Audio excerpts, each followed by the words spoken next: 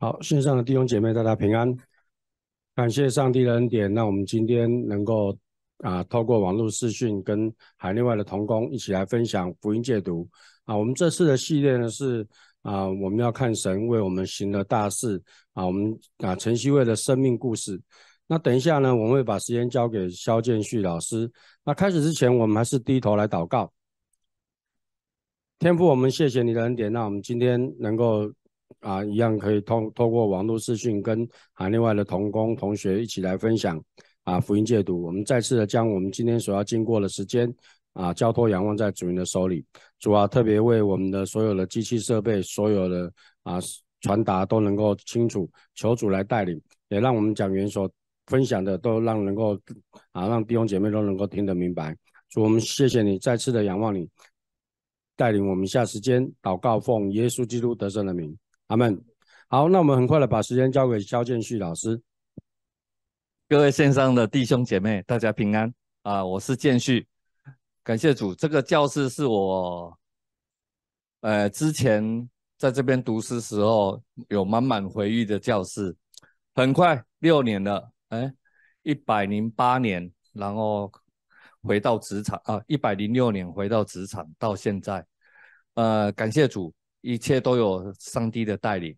好，我们开始进入今天的主题啊。我今天所分享的，我的题目是一生的果效由心发出。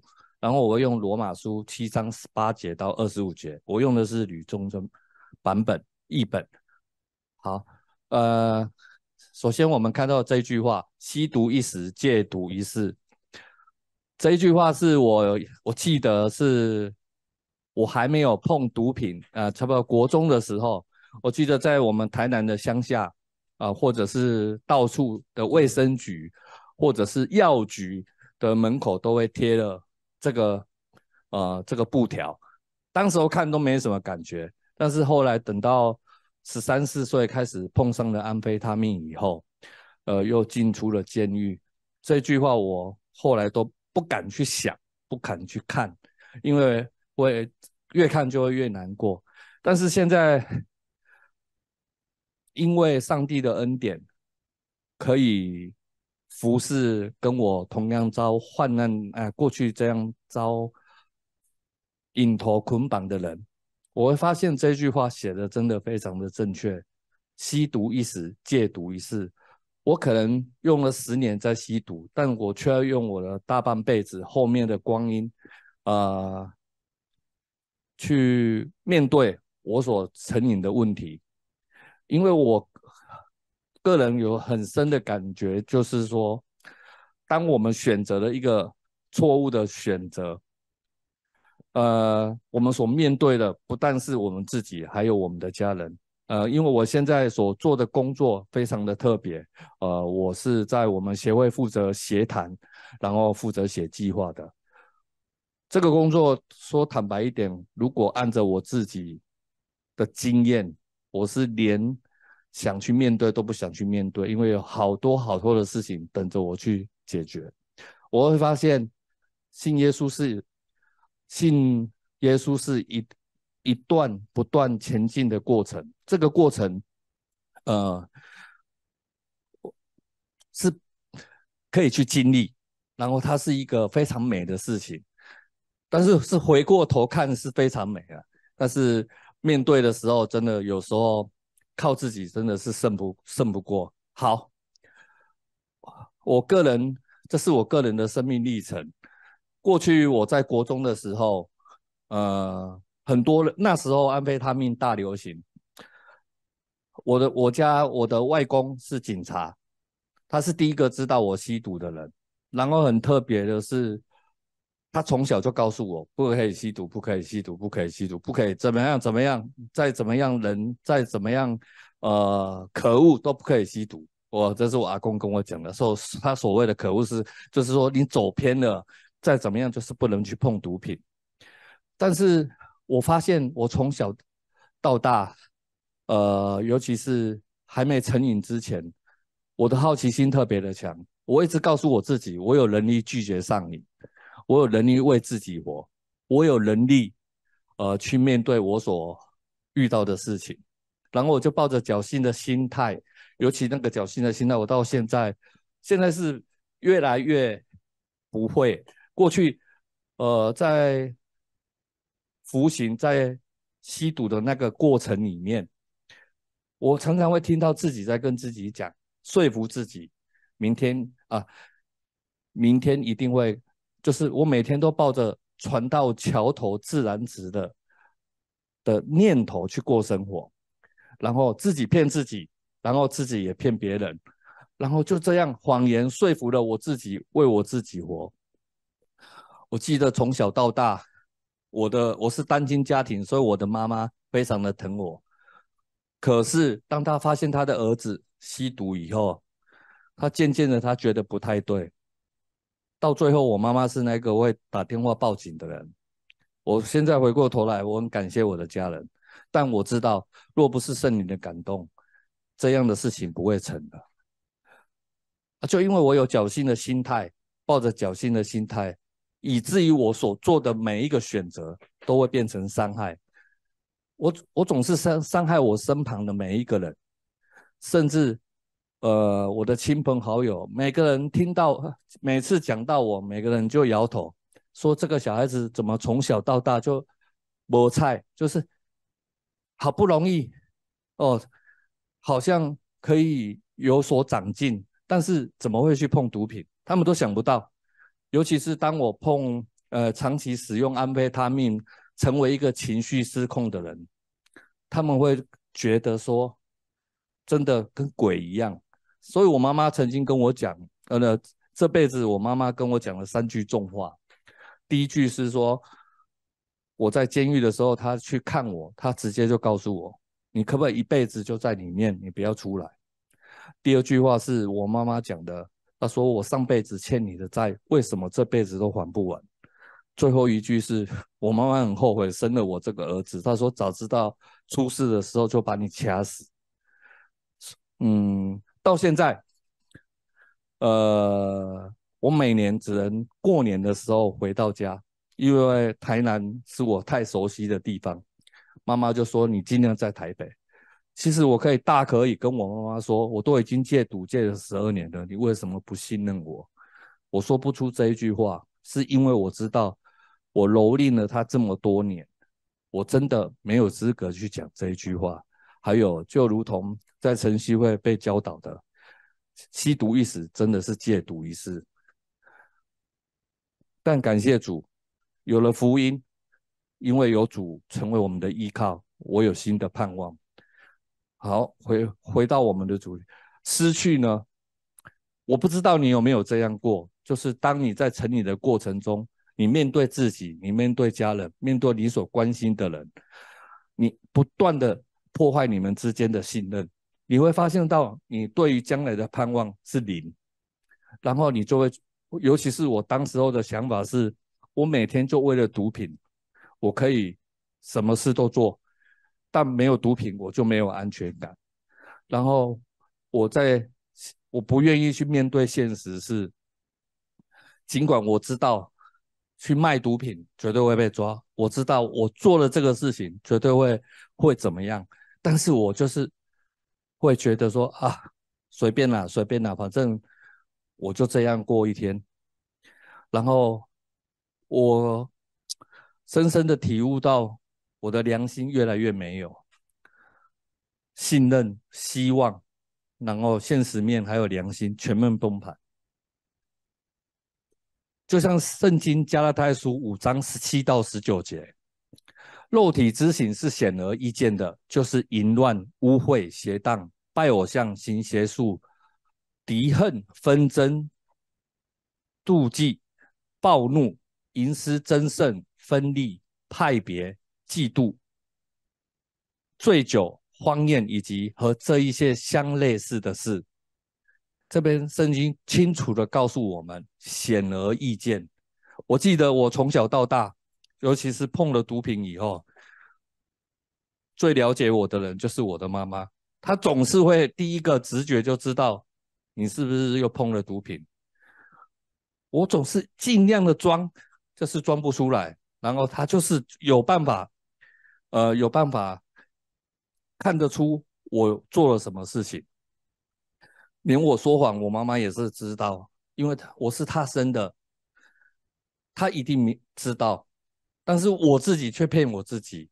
好，这边所讲的不能承受神的国，这边所讲的并不是说啊，因为保罗在写给加拉太人，呃，加拉太的教会，他是在告诉他们，肉体跟圣灵是相争的，肉体之行是显而易见的。什么是显而易见？可以清楚且被容易人知道，是你装不了，然后你就是会，能圣经所讲的隐藏的是没有不被显露的。好，过去还没有信主前，我的人生，我想成为一个负责任的人，我想成为我家里面我爸爸、呃，我妈妈、我我家族所盼望的那一个人。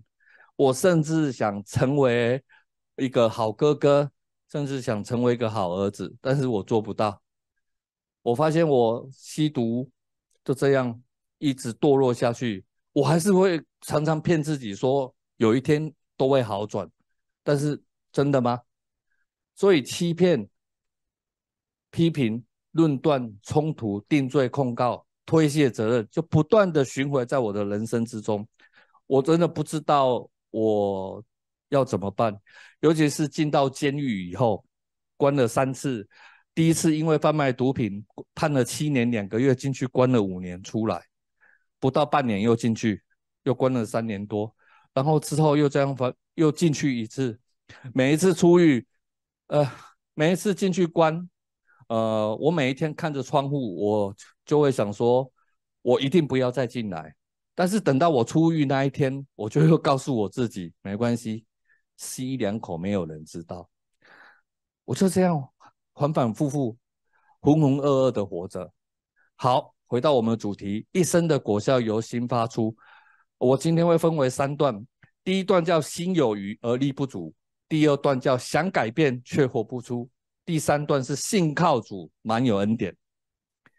然后我们来看金姐。罗马书七章十八到二十节，我知道在我里面，就在我肉体之中，没有善助者，因为自愿呢，我虽有把良善做出来了，我却不能，因为我所愿意的善，我不去行；我所不愿意的恶，我倒去行。我所不愿意的，我若去行，便不再是我做出来，那是住在我里面的罪做出来。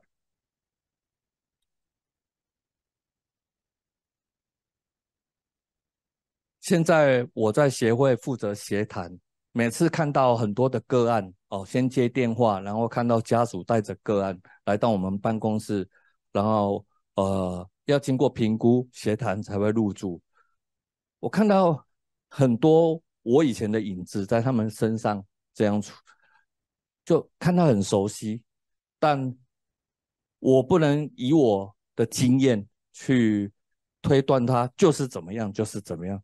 但是很奇妙，就是当我真的在信仰里面这样读经，然后祷告，然后知道我不能离开神的那个状态下，我会发现我对一些事情我越来越敏感。但是过去没有，过去呢，我只我只知道我成瘾以后，我每天都活在后悔里面，我想着就是怎么去。为了毒品去张罗钱啊！我想的是怎么从我身旁那些爱我的人身上去赚赚点钱出来，因为没有钱就没有毒品，而且是只要是醒着，我就是在使用。所以我去回想我过去我到底在为为什么而活？我说坦白一点，我是为自己而活。我心里面想的全部都是，呃。就如同刚刚经文所说的，都是罪的彰显。我进出监狱三次，我也问我自己为什么改不了。后来我真的去回想，我每次在监狱里面进到里面，我跟那些人、跟监狱的那些弟兄们，我每天所讨论讨论的都是外面的风花雪月，讲的绝对不是互相奉劝说啊，出去就不要再碰了，不是。出去就是要想尽办法，不要再被警察抓。为了就是怎么样呢，让自己人尽量的钻法律的漏洞去赚到钱。我真的不想这样做，但是一边吸毒一边思想就活出来，所以我心里面想什么，我就活出个什么样。心身瘾易戒，心瘾难除。心瘾是人对成瘾物质的依赖性。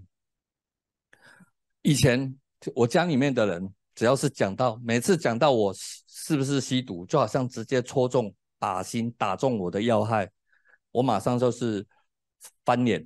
为什么？我只能做翻脸的动作，我其他做不出来。为什么？我只想，我越挣扎。我越抗拒，我就是在越证明我是在那个状态下，所以我妈妈就能断定我的弟弟、我的家人，只要东西不见都是找我。说实在，我也随便了。那时候的我就是，我也不想，我不知道我活下去是为了什么，所以就这样反反复复进出关了监狱，关了十几年，然后三次，后来去来到台北，一百零一年出狱来到台北。然后就待在这边，待在赶路的宴，在台北戒戒完毒后，被我们呃协会送来晨曦会读书。说实在的，当时候呃，我很感谢栽培我的牧师师母，他们也跟我讲一句话，因为当时的我在我们的协会里面。我坦白说，我在戒瘾的那一段过程，就是那一年的富裕，一年半的富裕期间，若不是童工有着从神而来的怜悯，我早就因为违规就离开了。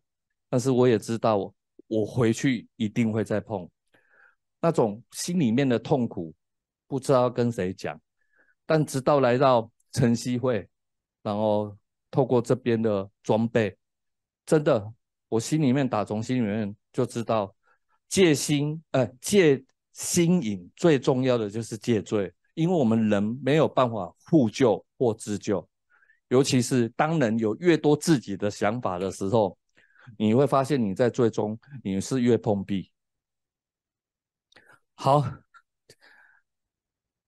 在那么痛苦的状况下，但是接受了福音。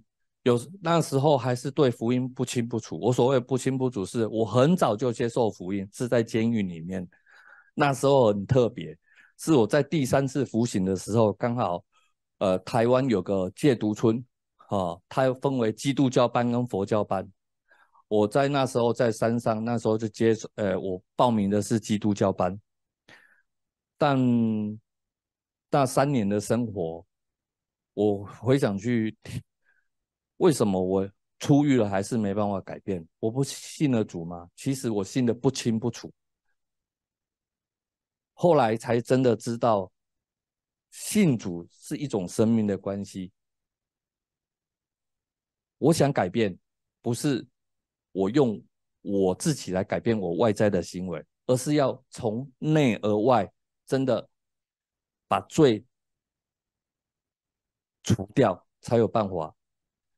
戒掉我外在的行为，啊，罗马书七章二十一节到二十三节，想改变却活不出，所以我见有个律，就是我愿意行善的时候，总有恶和我同在，因为按我内心的人来说，我到极赞喜上帝的之律，但我却看出在我肢体中另外有个呃另有个律和我心事之律交战。把我掳去，去服从那在我肢体中的罪之律。使徒保罗在这边所写的，他不但是在写所有人活在那最终的状况，也包括信主之后，你还是会一样要面对这个问题，是因为我们还有身体。我们，呃，我以前常常常常在想，哎。我们的上帝如果是这么的厉害，为什么他不把我直接把我的毒瘾拿走，那我就可以把毒戒掉了？那种我这种想法很天真，而且我有很多的想法是对神产生的怀疑。我总觉得，哎，他就是个宗教而已，然后他就是怎么讲？呃，我信上帝，呃，我信这个福音，应该是保保守我。呃事事顺心，然后呃尽量什么想法都没有，就是啊做什么赚什么，然后都顺顺利利。后来发现真的信主之后，我才知真知道说，原来我有很多的想法是受了过去老我的影响，但我的老我要怎么胜过？就如同这边所讲的，内心的人指的是我们的良知，它会受你的欲望、你的情感所影响。良知会影响我们外在的行为，也就是说，你外面的行为就显出你里面在想什么。但我并不是说，呃，说坦白一点，我们在线上有很多戒瘾的弟兄姐妹们，我们必须承认一个事实：什么时候才是真正的考验我们所信的是不是对的？说我们所所说的信的对不对，并不是依你的行为，而是依你的内心的想法。离开门训，然后到回到职场，然后先做主任，后来当了会务。我发现我越来越需要上帝。所谓越需要上帝，我我就分为三个阶段：一个是刚信主的时候，一个是呃很热切的信主之后，最后呢是你工作在工作职场上，你的生活、你的婚姻都需要上帝的时候，你就知知道说上帝是多么的重要。而且我刚刚想跟大家分享的是，我们内心的人。什么时候说是考验你内心的人在想什么？四下无人的时候，你会做什么？我坦白说，我曾经也有很多的想法，真的是想说啊，没有人看见，做了一下又怎么样？这种想法现在比较没有。过去刚时候在读门训的时候，因为好不容易可以拥有的手机，有可以跟外界联络。说坦白一点，曾曾经好几次真的很想。奇怪，记家里面的电话都记不了啊，记要头的电话都记得一清二楚，然后就很想给他按下去，但上帝就是那么奇妙，总是透过你身旁关心你的人，严厉的制止你。那时候的，呃，在读门训的时候，哦，说真的，我的手机是需要被我们协会的牧师师母。检查的，他我会常常看我的 F F F B，或者是看我的交友状态，看我在写什么，不对的，他会直接直接呃严厉的指严厉的告诉我不行。后来我才发现说，当人看中你的时候，所讲的话是会付出代价的。好，回到我们的主题，律是什么？它是恒常不变的影响力。它是一个倾向，人是不能用意志的力量和任何的律反抗，就好像做坏事会有坏结果，做坏事就会有坏结果。让我想起约翰福音九章那个生来是瞎眼的人，过去在读圣经的时候都是读了过，但是那时候我记得我第一次很震撼的时候是我。我透过在晨曦会门训所上课的装备、老师的讲解，我们总是就像我刚刚所分享的，我吸毒的过程的时候，我的家人、我的妈妈认为我是来讨债的。呃，说坦白一点，那时候我还没有还没有信主前，我妈妈到现在也还不是基督徒，但是她真的很感谢这位上帝。但坦白说，那时候的我，他总觉得是不是我的祖宗哦做了什么错事，以至于我去碰毒品？是不是我呃上辈子做了什么事情，导致我这辈子会这样？我记得那时候去到道教的公公庙里面，大家都讲了一句，那些神那些所谓的神明都讲了一句。啊，真的被鬼附。说坦白一点，我就是那个鬼。我不知道你们会怎么想，但我们回过头去看，真的是那么糟糕的的状态下，上帝都有帮我把我们拯救出来。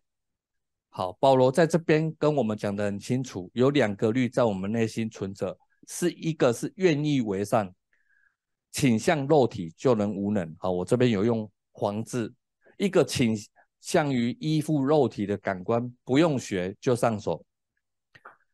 怎么讲呢？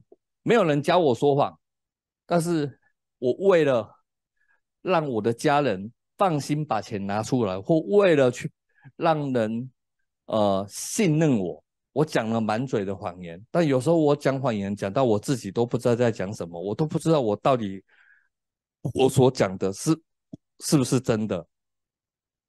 哦，这边所说的一个愿意为善，倾向肉体就无能。我不知道，呃，线上的弟兄姐妹。你们是不是跟我一样经历过那个状态？就是我们真的很想让家人放心，但这是做不到。尤其是当你为了一个东西，然后被钩子勾住以后，然后那个紧紧放不下，不管是情欲，不管是金钱，不管是权力，不管是毒品，不管是酒精，它总是占据了我们生活的大半，然后。让我们生不如死，这就是这边所讲的。你想做，你做不到。但保罗在这一段经节，在罗马书的七章这段经节的后面，却给了答案。但是他他在说，不但是信主，哎，我我我个人认为是这个不断不但是讲我们未信主前，包括我们信主之后，还是一样，我们必须很小心，明白说，哎。我们必须警醒着，我还是会很多的事情会留住于习惯。所谓的习惯是，呃，我们的过去种种的老我，但会不会改变？会。我知道我们都想改变，但是我们靠自己真的没办法。为什么？这边写的很清楚，你倾向于肉体就无能。如果没有依靠上帝，我们什么事都做不到。而且那些做不到，哎。我们不想不想做坏的事情，那些所谓的坏是什么？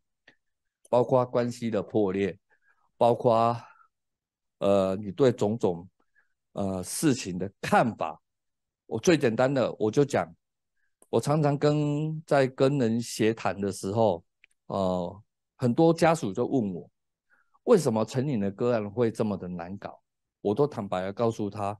因为我们成瘾之之后，活着不再是我们那个自己，已经是变了样，而且我们心里面所想的都是为自己，从来不会为家人。但是很多的家属也是觉得说，为什么个案会这么哎，成瘾的个案会这么的反复无常，会这么的呃满嘴谎言？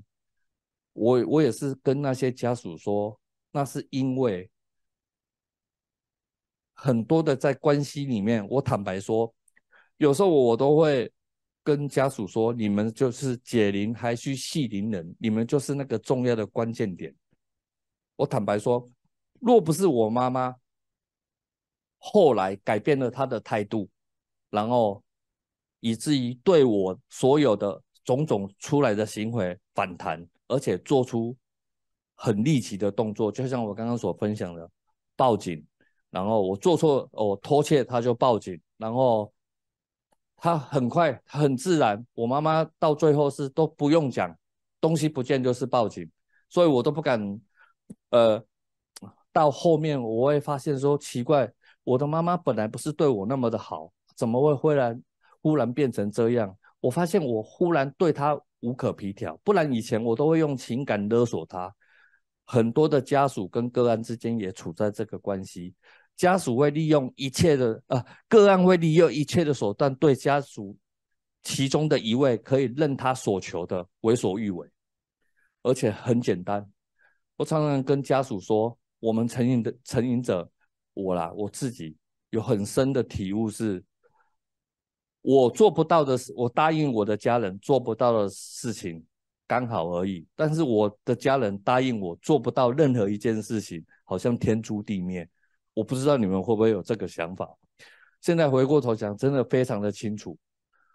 好，箴言四章二十三节，你要保守你的心，胜过保守一切，因为一生的果效由心发出。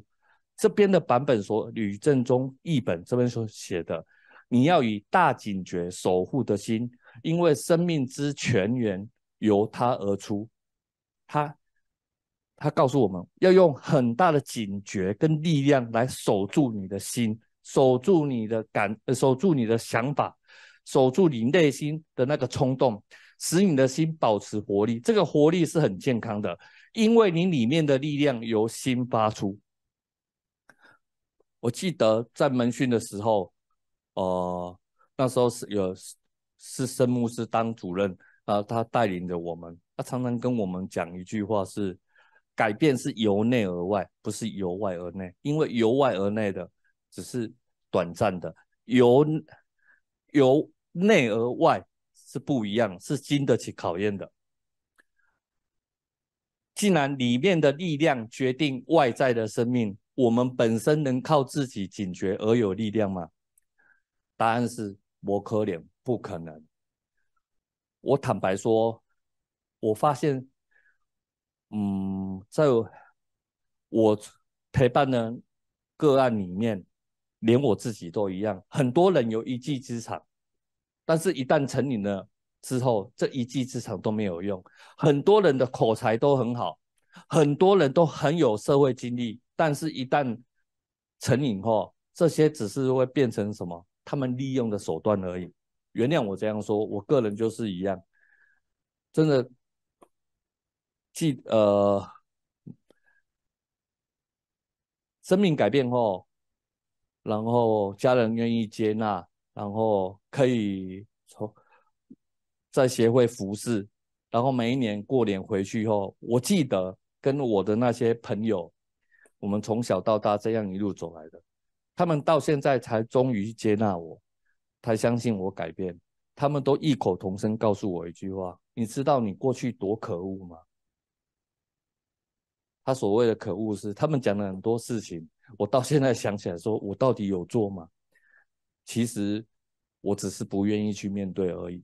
但后来他们都说：“现在你终于成成了一个人样。”可可见，我以前是人魔鬼样。好，这边讲里面的力量决定外在的生命。我们本身能靠自己的警觉而有力量，而有力量吗？只有福音，就像圣经所讲的，福音本是神的大人，要救一切相信的人。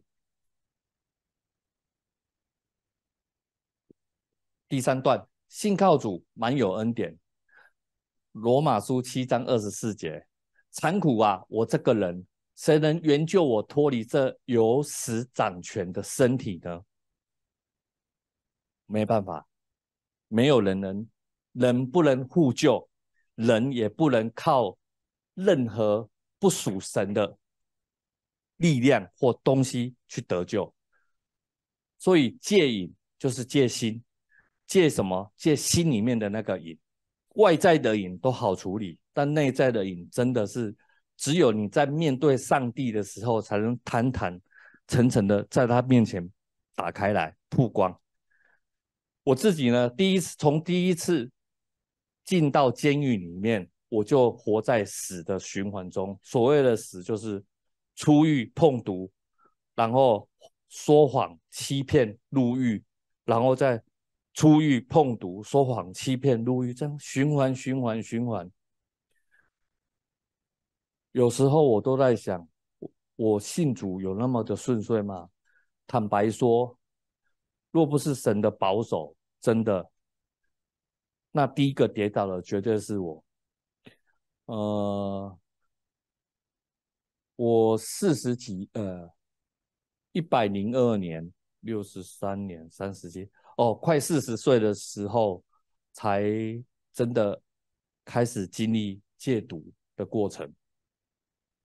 在这一段日子里面，我有很多的梦想，我想成家立业，我想孝顺父母，但是都做不到。每一次都自己打自己嘴巴，因为我我深知毒品不用来找我，我会自然会去找毒品，所以。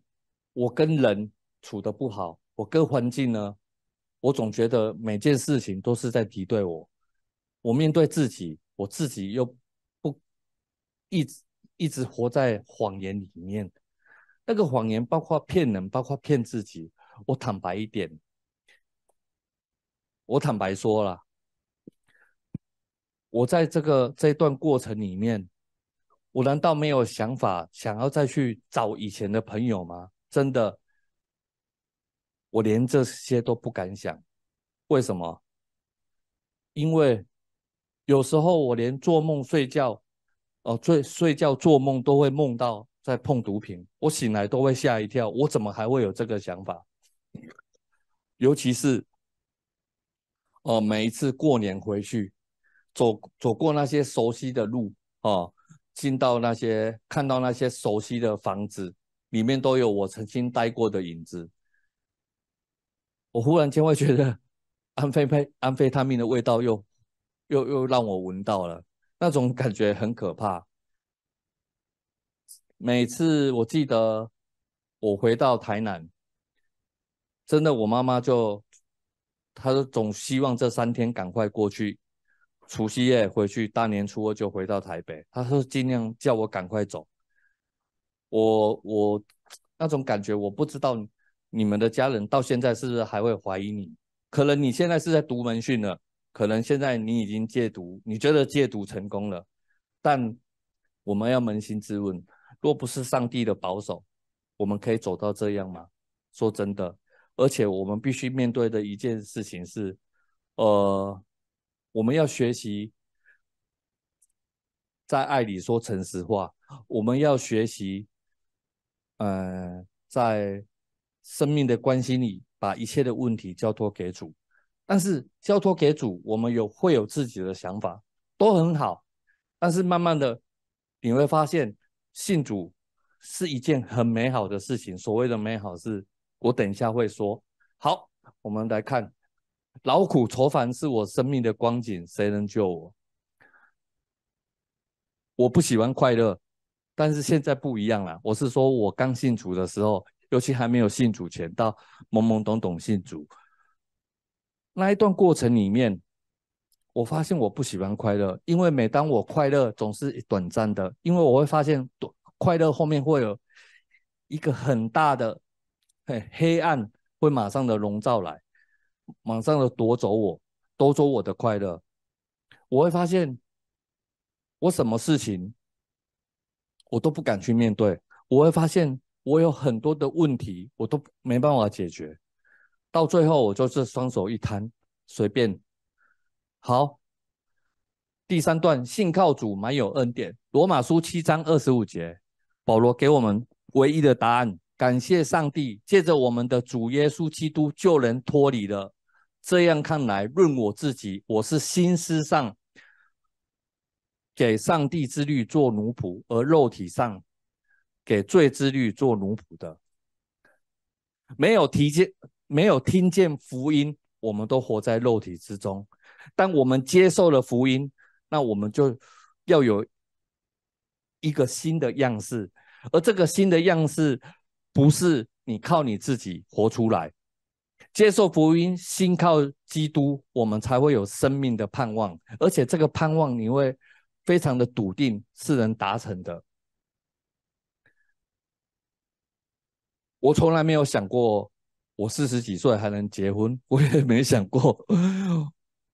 会有人接纳我这样的人当成他们家的女婿，真的感谢上帝就这样带领，然后很奇妙，我也没想过我的另外一半，呃，跟我妈妈是那么的妈吉，所谓的妈吉是他们，呃，怎么讲？他们上帝会透过他来帮助我，让我。活得更好，我会看到上帝所给予的每件事情都是那么的美好。好，保罗告诉我们，唯一的答案就是信靠那唯一的主，他就是耶稣基督。以前在戒毒班的时候，在监狱里面戒毒班，每天也是读经，每天也是祷告。但坦白说，读经祷告之后想做什么事情？因为那时候我们那边是，嗯，山上监狱是有开放烟禁，但是我们山上戒毒村抽烟是会是不能抽烟。所以，我每天我这个做干部的，我在里面当文书，我每天做的唯一的事情就是想尽办法，会客的时候把现金搞进来，然后用现金去买香烟，然后让大家都能享受那个最终之乐。现在想起来都觉得很可怕。为什么？当时候应该是说，人在醉里面就是找那个刺激感，那个刺激感就是怎么样呢？大家都知道了，然后自己就却骗自己不知道，或者是就是享受那个偷偷摸摸、偷偷摸摸，呃，那种快乐。但现在觉得偷偷摸摸真的何必呢？我何必把自己搞成这样呢？但感谢主，我以前会弄了呗，基督教跟其他宗教是一模一样，都一样劝人为善，但后来发现不是的。哦，信靠主耶稣跟其他的宗教是完全不同的层次。宗教是人找神，信仰是神来拯救人，他主动，我们被动，不是我们主动，然后神啊就能有求必应，哦，心诚则灵，不可能，不可能。好，祷告、读经、灵修是一种生命关系的连结。绝对不是一个修行的途径。以前，呃，我刚从我们那边，呃，门，呃，就是戒毒村，然后考上门训，然后来门训之后，我发现我，我那时候我在我们戒毒村里面，我是很特别的一个。后来我发现我的特别在晨曦会不是特别的，有很多比我更特别的。所谓特别，是大家都很有才干。但大家都一样被毒品所捆绑，哎，要比较，有的人关的比我久，有的人家庭比我更破碎，但我们总是看见，就是上帝这样把我们带过来。那时候在呃晨曦会，真的是在晨曦会开始开启了我真正什么叫做信仰的关系。那时候我觉得，因为祷告也可以装，读经也可以假，灵修你，我不知道你们有没有那个过程。那时候读经总是读到最后，看到圣经就是拿着圣经指着那个人，他就是这样的人，我不是那个人。但后来发现说，这都是一个过程。生命关系的连结是什么？是你需要他，只有他能帮你，也他也愿意帮你。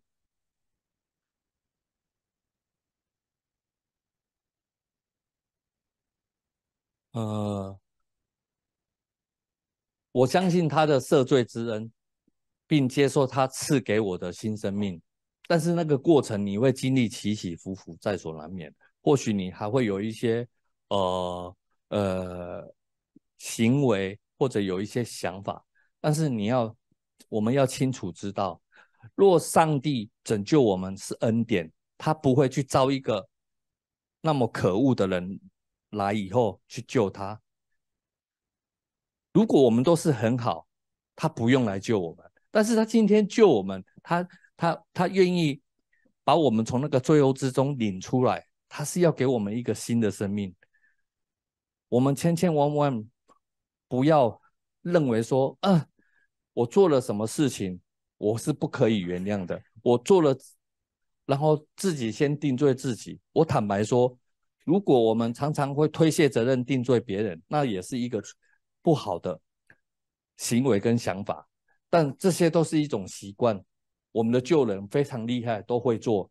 但就如同我刚刚所讲的，我在这边，我在我们我们协会服侍的时候，我坦白一嘴，可以跟那些个案的家属协谈。坦白说很累，但是。越累的事情越需要信靠上帝，因为我知道不是我厉害，是我的上帝厉害，也不是我能，我凭什么我可以去辅导，我可以去帮助那些学员？我想我要的，我想想的是什么？很多人都说啊，为了他好，为了他好。很成瘾者常常会说，你如果为了好，为了我好，你就照我的想法做。你看，人跟人之间都会有这样，何况是我们跟我们最亲的人。在信主的过程里面，我发现我愿意顺服他的话语。我知道我所信的是那么又真又活。我知道我所跟随的这位主是让我能抬起头。所以用神的，当我读经祷告，我都知道上帝在透过他告诉我，我要好好遵循他的话，好好守他的诫命。其实我们要守诫命难呐，但可以帮助我们的是什么？你要知道，你的软弱就如同保罗在哥林多书信里面所说的，主耶稣亲口跟保罗说：“我的恩典够你用。”我他怎么说？我们的软弱有时候我们都会觉得我配配让上帝来爱我们。我坦白说，就是因为你的软弱吸引他来爱你，不是你的刚强，不是你很厉害。我们常常。到神面前祷告不是一种祷告，不是一个怎么讲？我们可以说我们的想法，但是你要必须明白，他给你的都是最好的，都是经过精心安排的。回过回到我们这边所讲的，我们相信生命的改变是由内而外，有真信心才会有好行为。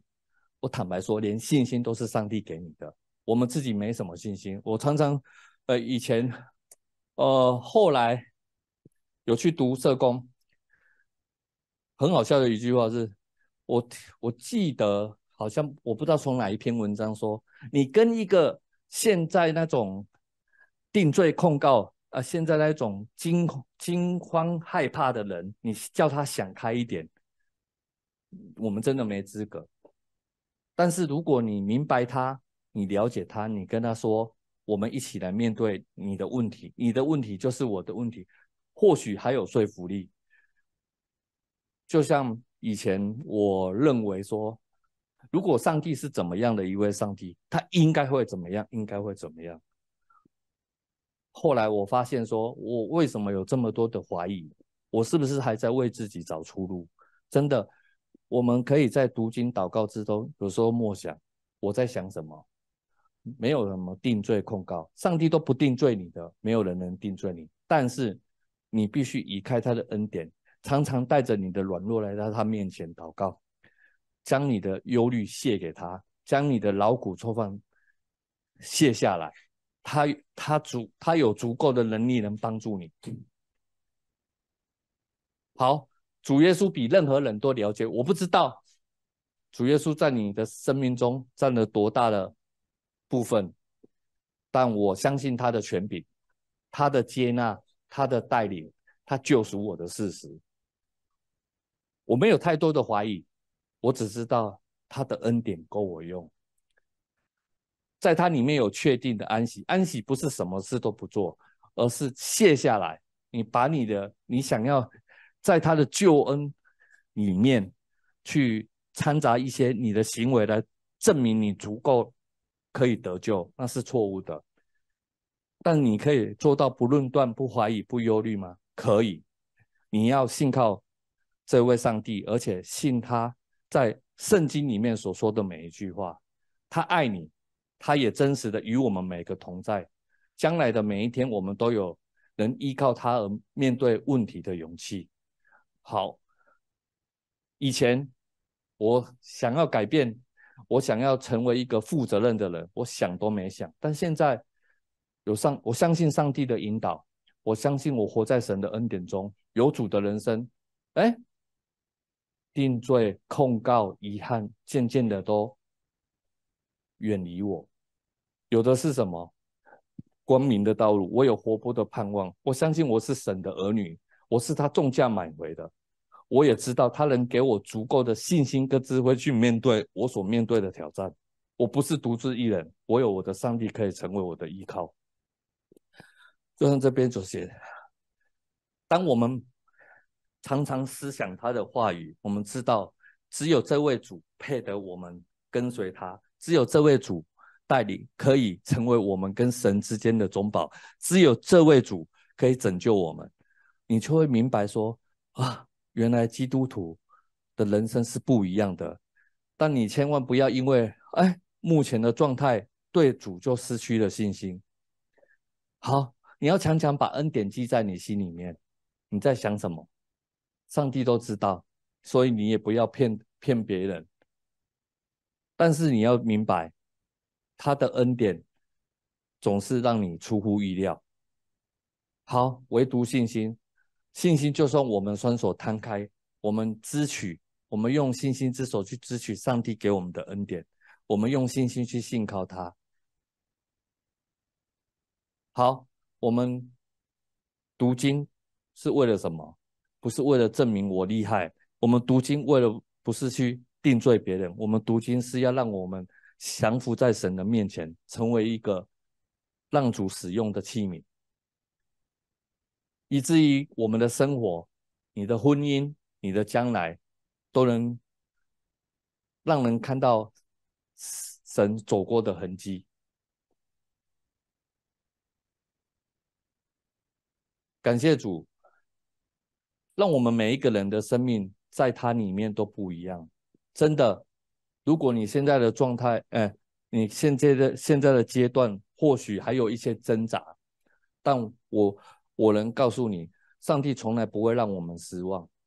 但你必须把主权交给他，什么会交给他？你要相信，任何你所面对明天的问题，那个结果，你不要去想结果要怎么样，你把结果交给他，你只要顺服跟降服他。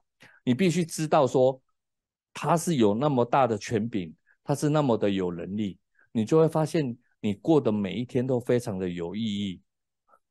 也许你现在所过的每一天总是有一些不舒服、不高兴，或者身旁就很奇妙，身旁的全呃全台湾两千三百万人，很奇怪。跟你跟你在你旁边的人就是那么的让你讨厌，有时候你必须去想，为什么我会有这个感觉？你的感觉不会是不会是怎么样？我应该这样说，就是说我们会有很多的感受，我们总是觉得别人的讲话，或者我们总是觉得啊别人怎么样，或者是我们总是为自己想，没有一个人不会为自己想，但是你要明白。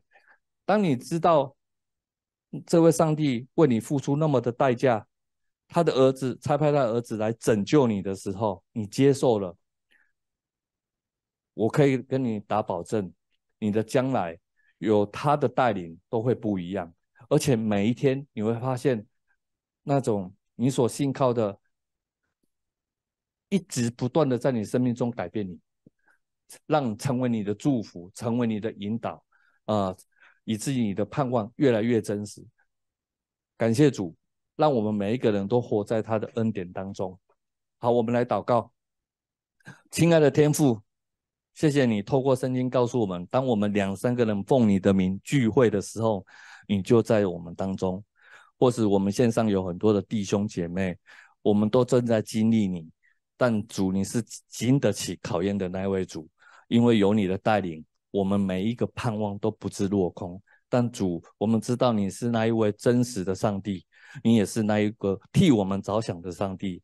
愿我们每一个人的生命在你面前都蒙你的祝福，以至于我们可以成为祝福别人的人。但主，我们只渴求，我们常常可以亲近你，更明白你在我们生命中的旨意，以至于我们能活出荣耀你。感谢祷告，奉耶稣基督的名。好，谢谢传道的分享啊。线上有一些问题，我们先来看一下啊。这可能是要问线上的啊，问传道的。好，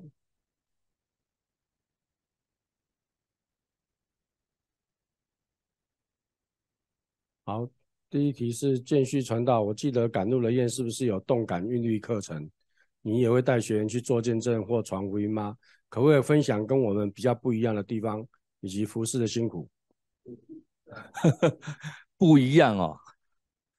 赶路的雁，动感韵律课，我不知道这个是指的是什么，但，哦，我们有我们有体育课，我们也有一些出外的健走课，都有一些课程，但很特别，我发现是，呃，这几年我们所接受的个案比较特别，都是从医疗端过来的，就是经过戒断哦，都有住院住。住一阵子，然后再无缝接轨到我们里面。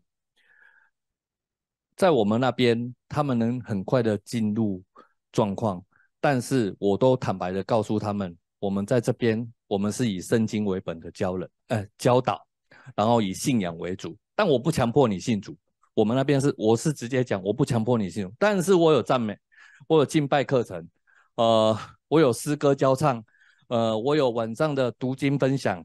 我甚至有小组分享，你都必须配合课程，但很多人就这样潜移默化的接受。目前我们带出去外面做见证跟传福音，呃，我们有一个反毒电影车，我们都会去学校，但学校里面禁止讲宗教，但我们都是会带过去，常常会不自主就感谢主，感谢主。他们会说谁是感谢主？我们说感谢耶稣，然后可以分享我们。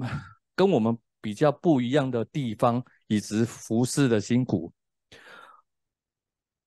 曾我赶路的雁，目前最大宗的服务哈，应该就是说，我们那边目前十三个个案，有十一个每个月都需要去看医生拿处方签，然后一个人看，甚至有呃精神科、内科，或者是就是说他有看病的需要。在我们那边吃药是允许的，但必须吃呃医生所嘱咐的处方签，而且我们那边也禁止建议个案断药，所以到我们那边的个案，它有许多的规定必须去遵守，跟晨曦会大同小异。但服侍的辛苦，刚刚讲的服侍的辛苦，我发现其实我若不是依靠着主，我也不知道怎么去服侍。因为那个热情早就会没有，但很奇怪、很奇妙，就是上帝总是知道你在想什么，他会透过你身旁的属灵的伙伴，或者是教会的牧者，呃，提提醒你。所以我们要把我们的耳朵打开听。或我常常跟我们山上的弟兄，呃，就是我们说山上是我们协会的弟兄分享说，有耳就应当听。耳朵不要长包皮，哈，耳朵要打开。但是说坦白一点，赶路的雁跟晨曦会比较，我们那边福音的性质稍微薄弱了一点，所以你会说啊，比较不一样。但我们一样，所有同工都必须信靠主、仰赖主，常常为。呃，我们的羊祷告，为自己祷告，甚至我们每次呃会议，我们每次发生问题的时候，我们可不可以秉持一个心，就是说我们互相包容？若不是上帝包容我们，我们真的没办法，呃，可以这样尽情的服侍。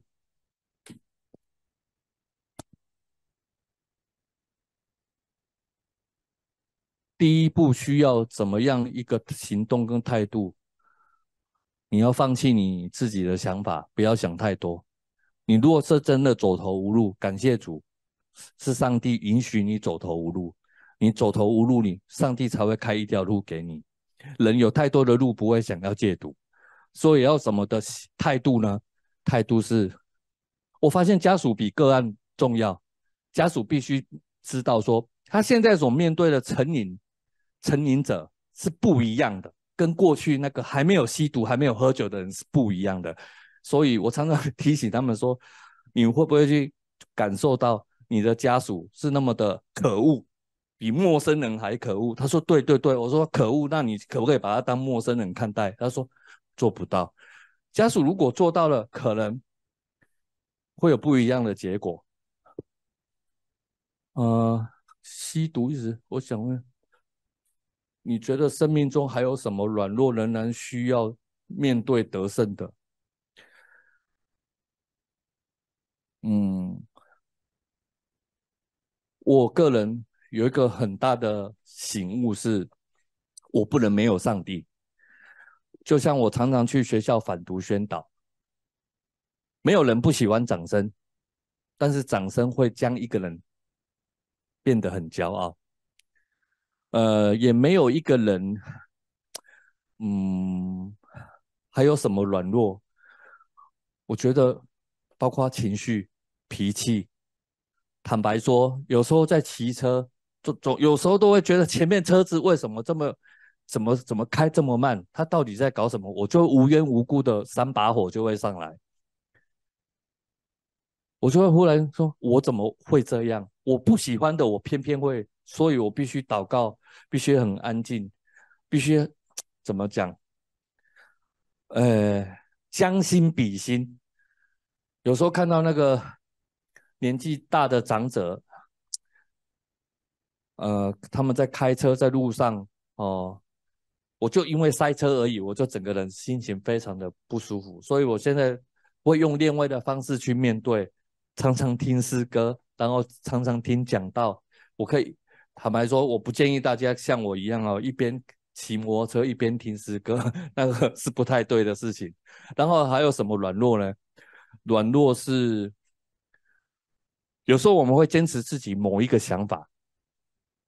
但我发现，我越来越能信服上帝，是我身旁的，我很感谢主，我身旁的我的伙伴们都可以愿意付出代价去跟我讲真实话，然后我也愿意接受，我不会像以前，你们凭什么讲我？你们又不是我，我告诉你，我这个想法会越来越没有，但是我还是要很警醒，因为我若没有常常意识到我是得救的。我没有意识到我的上帝与我同在，我还是会有一些自己的老我就冒出来，无缘无故就冒出来。说好，哦，服饰遇到瓶颈，如何去解决问题？我投入服饰这几年，我坦白说，遇到瓶颈不是没有。常常遇到，常常会遇到，但我会回过头看我走过的这段路，上帝没有让我失望过，总是带着我一关一关突破。那我为什么还担心害怕？我就祷告说：主，我知道你正在带领我，我愿意遵守你的带领。瓶颈，人都会有瓶颈，但是这个瓶颈的问题会越来越怎么样？呃。越来越不会影响到你，而且你会很快的就会意识到不太对，意识到不太对的时候，你要马上回转、认罪悔改。但我坦白说，我刚刚分享的，没有一个人是完美的，上帝不会无缘无故去找一个不完美的人来定他罪。你必须明白，他能完全的包容你，他也能完全的带领你，他也可以让你有不一样，但他只要你想。做一件事情，相信他。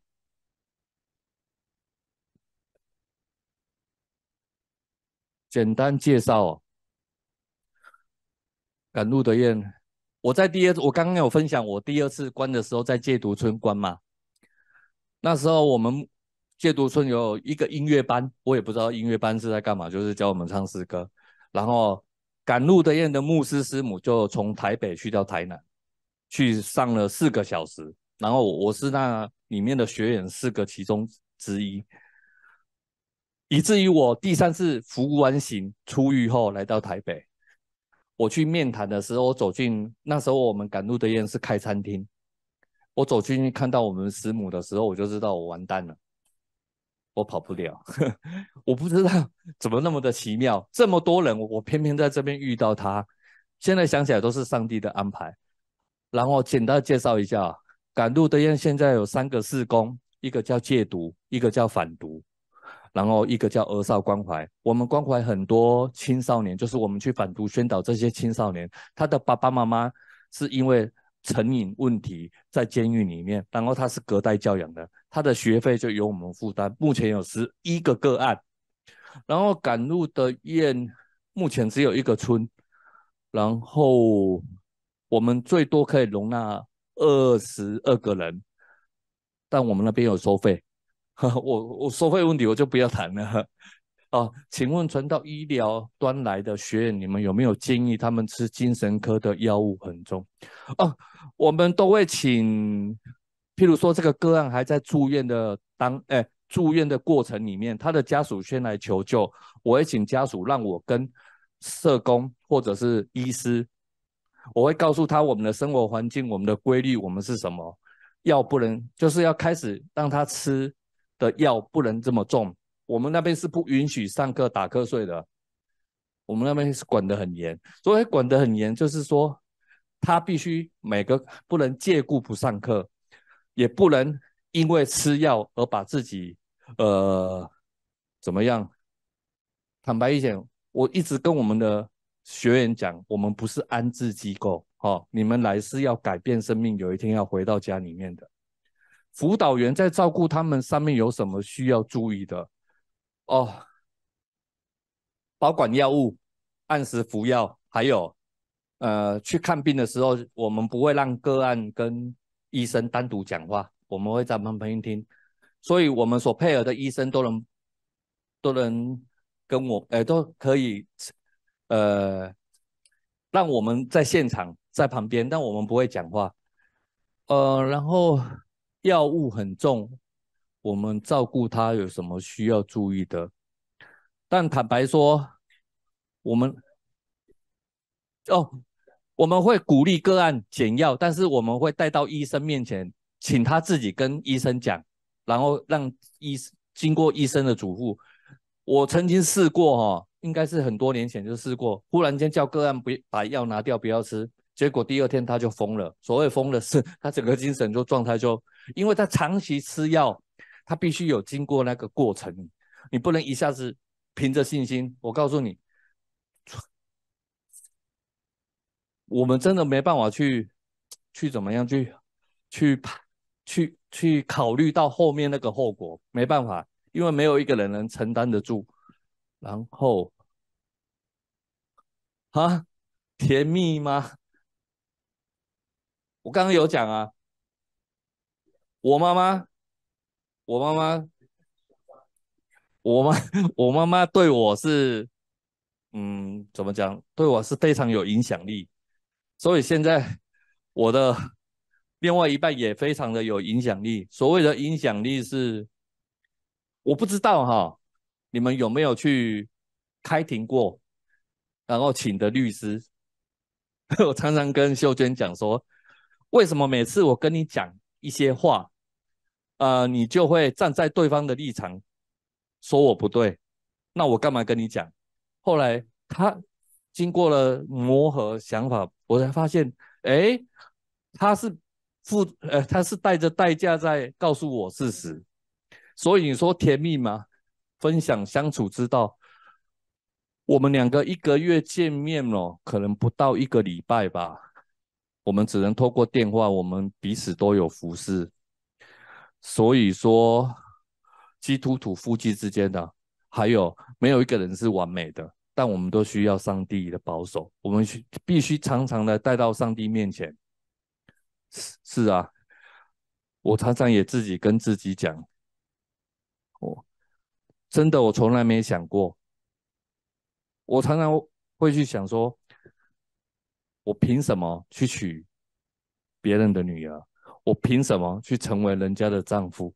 我凭什么能，呃，可以怎么样一个美满的家庭？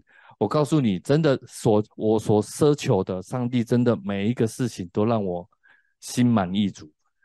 但相处之道，我觉得做老公的就是听老婆的，就没什么什么叫相处之道。你会发现，你会很喜欢听老婆讲话，听老婆呃吩咐，但是还是有时候夫妻之间在沟通的时候要讲实话，要讲良心话，但不要在情绪中做决定。OK，继续传道的分享啊，我不晓得我们的秀娟老师有没有在线上，啊，有要补充一下吗？还是对刚刚建旭所讲的有些需要纠正一下的有没有？来了吗？哦，有有有有，现在有听到我的声音吗？有有有听到了。我唯一的补充就是感谢神，他爱上帝比我更深。赞。好，感谢上帝。好，谢谢谢谢啊，秀娟老师的分享。好，我们跟线上还有没有问题吗？如果没有问题，我们跟线上打个招呼。我们来看线上的啊，有哪些同工跟我们在一起分享？好，我们看到了爱福二村啊，同安街。好，感谢神。还有满乐福，台北的满乐福戒毒中心，还有田中辅导所，田中辅导所七城西会七股门训，直门训，朝露山庄平安，山朝露山庄，还有晨光，晨昆明的晨光平安，还有美容村，哎女门训，还有以便一切平安平安，还有台南辅导所。啊，台东村，啊，太北门训，还有分园平安，还有姐妹之家，啊，龙颂堂记平安，师母平安，平安平安，还有屏东辅导所，好啊，这是应该是中国嘛，哈，对，苗苗村平安，还有王鹏弟兄平安。加拿大，哎，我看到有没有加拿大的？哦？看到有两位，哦，这两位是刚到加拿大，好，好，吴英俊老师平安，谢谢你。还有线上，还有家属团契，还有伟瑶传道，元村，还有亚杜兰基隆村平安，啊，这是马来西亚的，对，哎，出埃及，马来西亚，还有德胜之家。还有穆恩的培训，还有亚杜兰的壮维村友爱关怀协会，还有马林村亚杜兰的马林村。好，好红啊，好，感谢神的恩典，我们在线上一起来学习。好啊，这里有个要问传道了，你对成功戒啊戒毒的定义是什么？我们把。成功戒毒的定义啊，嗯，我常常跟我们来协谈的家属说，他们都问我，我会问他们说，你们想要个案改变什么？这一句话也成为我心里面那个踏实板，就是从一个不负责任的人，成为一个负责任的人。一个负责任的人，他是会面面俱到，他会考虑到别人的想法。或许不刚开始不舒服，所以我我戒毒的定义是，一辈子你都必须依靠上帝的恩典，直到见主面，你才会真的把毒戒掉。我不是说我还会吸毒，我只是要告诉你，毒品你二三十年的习惯，我刹那间因为上帝的恩典改变，我必须常常的警醒，知道我自己在做什么。所以那个定义是，我要做每件事情的时候。我有没有去顾虑到我身旁的人？所谓顾虑，是不是依我自己的意思去做？如果按照我自己的意思，我当然是想干嘛就干嘛，我干嘛去想别人的事情？但坦白说，我必须在乎别人的想法。嗯，所以你说戒毒，我就刚刚所分享的两个层面，一个是时间，是你必须在见主面的时候，你才是真的把主戒掉。第二是，你尔后的后半人生都必须跟随着主，你才有办法做一个负责任的人。啊，以上。啊，何谓戒毒成功呢？就是我们在啊信仰里面呢，绝对不是只有。不是只有戒毒而已，所以真正的戒毒成功呢，就是要啊回到信仰里面，就是要认识神啊。我们福音戒毒就是要让我们的得到永生的盼望啊，永生的盼望就是除掉罪，只有耶稣基督才能够除掉罪啊。所以我们是在戒罪啊，除罪啊。当你罪得到赦免的时候，才能够啊坦然无惧来到施恩宝座前哦，所以这是最重要的啊。所谓戒毒成功，什么叫戒毒成功啊？我觉得就从信仰来来看啊。如果我们真正的认识神、跟随神，刚刚啊传道有讲到要认识神、要跟随神啊，所以我们为什么一直鼓励我们的弟兄啊？当我们在晨曦会住了一段时间以后啊，我们有戒毒学院。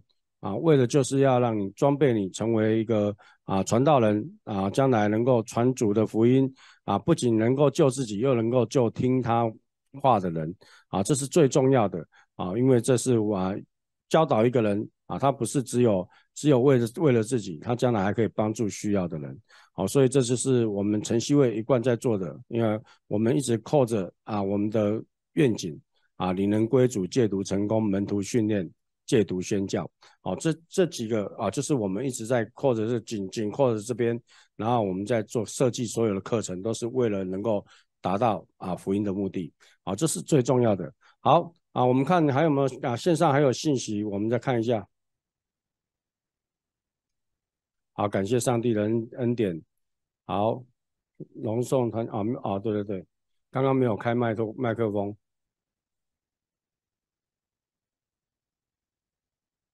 好，都没有问题。那我们来报告一下我们下次的课程。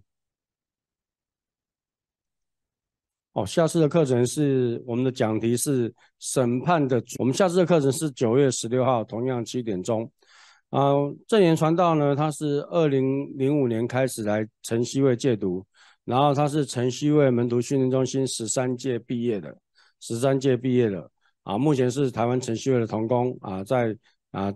陈希伟服侍已经十三年了，啊，所以他是田中村的童工，啊，我们下次要来听他分享啊，他生命的见证，还有他的题讲题，审判的主论是否坐在主身上，啊，这是一个啊看起来很很很伟大的很大的一个题目，我们下下下次来听听啊正言传道跟我们分享，好，都没有其他问题啊，刘牧师有在线上吗？没有吧，哈。啊，因为他现在在温哥华，应该是时间上是对不上的，他时间上是对不上的哈。好的，如果没有什么问题，我们啊今天的课程就到这里，我们期待下星期一的课程，我们一起低头来祷告。天父，我们再次的感谢你，谢谢主。那我们今天能够透过网络视讯，我们听到继续传道的分享，啊，也看到啊他生命的见证。求主继续恩待、保守、看顾啊！看顾我们在这里的学习，所有的侍奉都有上帝的恩典与我们同在。谢谢主，再次的仰望你，求主来带领。祷告奉耶稣基督得胜的名，阿门。好，谢谢大家。那我们今天课程就到这里，谢谢大家。